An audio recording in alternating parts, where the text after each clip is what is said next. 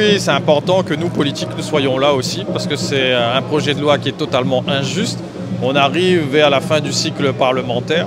Le gouvernement a été sourd à la rue, le gouvernement a été aveugle euh, aux arguments qui ont été euh, avancés euh, par les syndicats. Même l'ouverture de pouvoir discuter, le gouvernement a refusé. C'est un passage en force. Ça veut dire que ce projet de loi, c'est un projet de loi de Macron, des patrons contre les travailleurs. Et c'est pour ça que les travailleurs se sont mobilisés et continueront, à mon avis. Parce que au-delà de demain, le vote, il y a des mobilisations qui seront toujours en cours et on espère qu'il y aura un recul parce qu'on ne peut pas laisser ce pays dans cet état-là avec une division aussi importante. Vous, vous serez de chaque peut-être mobilisation?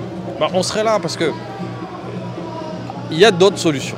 Les syndicats ont proposé d'autres solutions sur les cotisations, sur euh, d'autres mécanismes pour financer cette retraite qui n'est pas du tout en déséquilibre.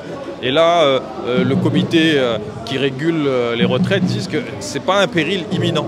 Et, là, c'est le vrai mensonge. Et faire croire aussi l'autre mensonge qu'à 1200 euros pour chaque travailleur, c'est totalement faux. Donc, il y a eu des fake news qui ont été mis sur la table pour faire avancer ce projet-là.